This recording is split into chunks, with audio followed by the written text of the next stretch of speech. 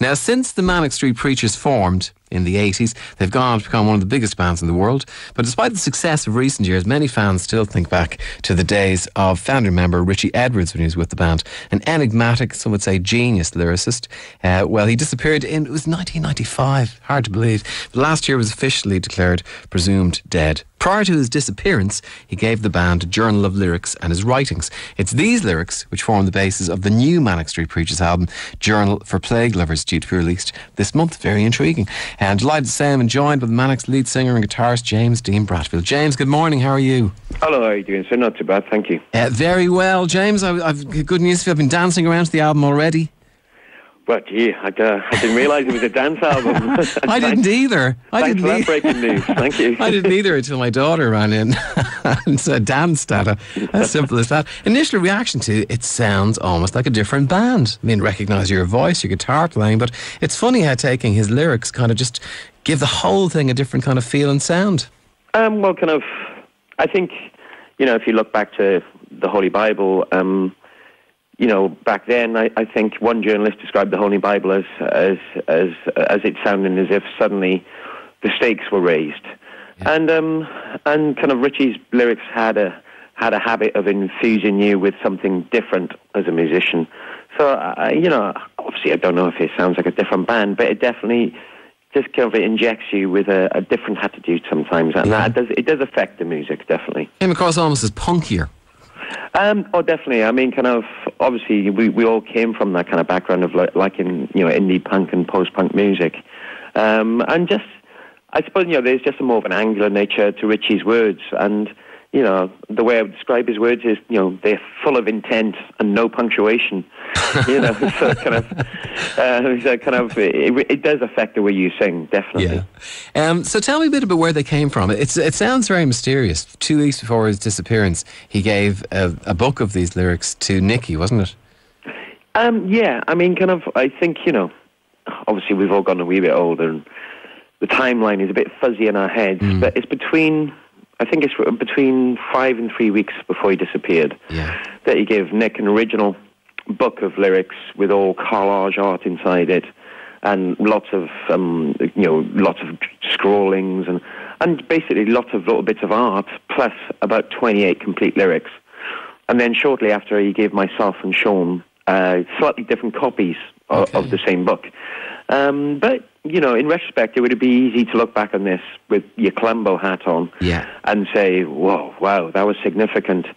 But at the time, we just thought it was the start of another project. Yeah. You know, at the, at the time, we just thought, wow, there's 28 lyrics in here. You know, yeah. and, and, obviously Nick Richey had an intensity intensity to him at that point. Mm-hmm. And um, we just, I just looked at the lyrics and I thought, wow, this is a this is a concept album or this is a double album. You know. Yeah. And and then they lay just you looked at them now and again. Well, I assume immediately after his appearance, you would have been reading them to see was there something in this to indicate that you know this was part of a plan on his part.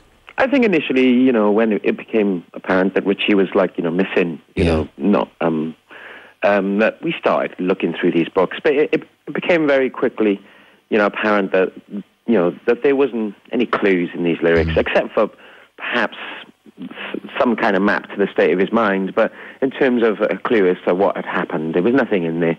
And I, I really think, you know, the way you go look at the, these these booklets of uh, lyrics or journals, or diaries, or whatever you want to call them, is is that it was his last creative act with the band. Yeah. You know, that's the way it felt at the time. It didn't feel like the last creative act, but it just felt like him just handing over these lyrics and going, "I'm running with the ball again. I can't stop writing. Have yeah. these." Wow. And then they lay kind of, well, not undiscovered, but the, you know, the idea of doing anything with them didn't cross your mind until very recently. What, what made you decide to, to revisit them? Um, I think time is the, is the simple answer. Yeah. I mean, I'm, i remember when I first started looking at the lyrics when Richey gave them to us.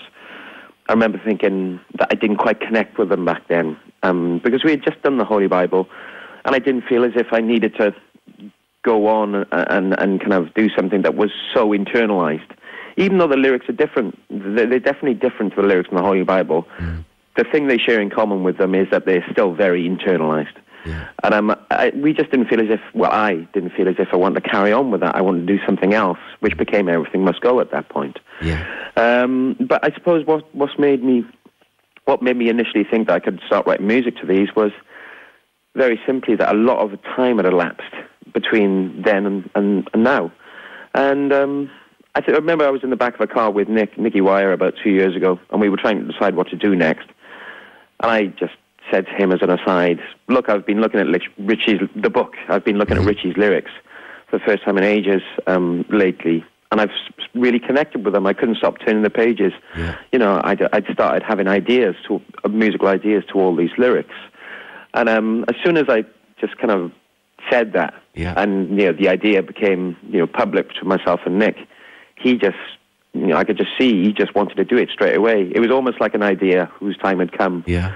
But I think it was important that we did it after Send Away the Tigers. I think if we'd have done it after Lifeblood, um, which was our, you know, a, a previous album before Send Away the Tigers, I think if we had done it then, people would have looked at it as a rather cynical thing because people would have thought of as if we were trying to save our careers or something. Yeah.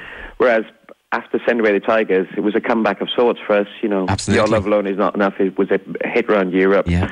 And so I think that made it easier for everybody to understand why we were doing it. Yeah. And when you were saying you, would read the lyrics and they'd give you ideas, I was I was intrigued by that. Is that is that the way it works? That you, when you're reading something, something inside it just suggests how a piece of music can go with this.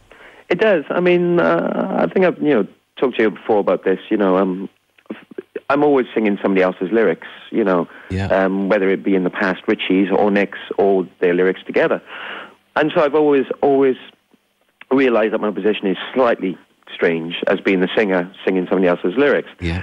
Um, so I've always, always, always, I always think that the the lyrics must inspire, you know, the music. Mm-hmm. You know, that's the way it works for me 99% of the time. Yeah. So that didn't change really. That's always been the same for me. I've always had to sit with a lyric in front of me, and they've always had to insp- inspire the music for me. The music has always had to be relevantly written to the music.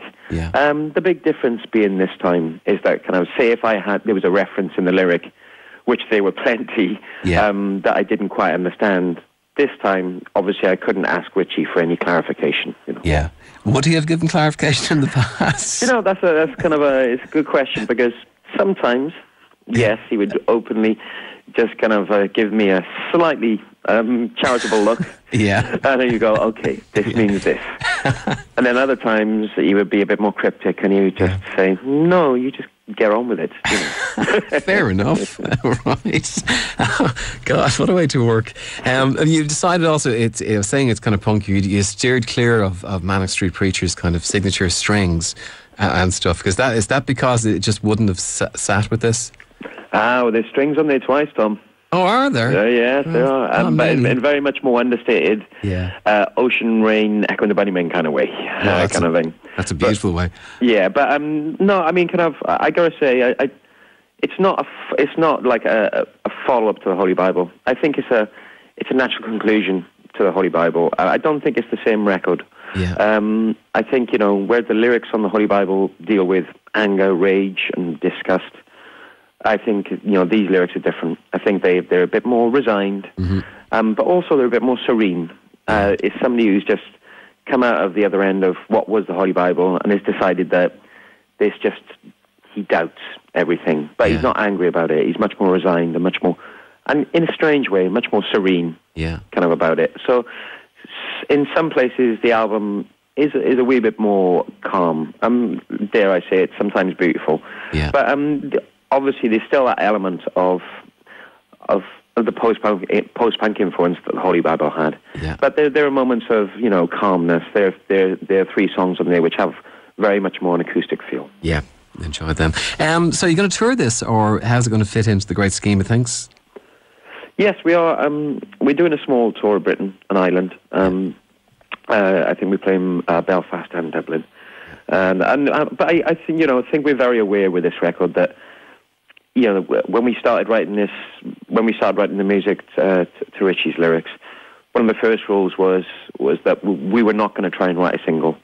Um, we realised when we were reading these lyrics that this was a this was a, a guy that was not interested in having a hit single at this point in his life. Yeah. Um, so when we wrote the music, we acted accordingly. So, uh, in regards to you know touring this record, I think we we we, we understand that we're playing to a, a, certain part of our audience. Yeah. We're not pretending that this is going to sell a million records. Yeah. You know, this is very much you know we I think we were facing up to the responsibility of using the lyrics that Richey left us and doing him justice.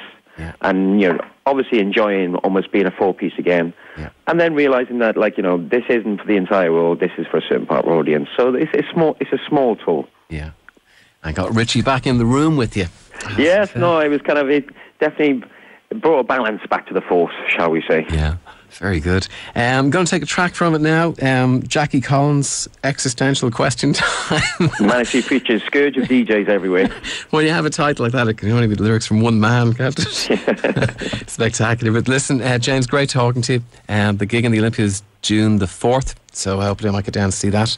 And I hope all is well with you, James. Cheers, Tom. Take Lovely talking to you. Thanks very much. Bye-bye. Uh, from the Man Who Preaches, the brand new album. This is uh, Journal for Plague Lovers, and from it, this is what a title: Jackie Collins, Existential Question Time.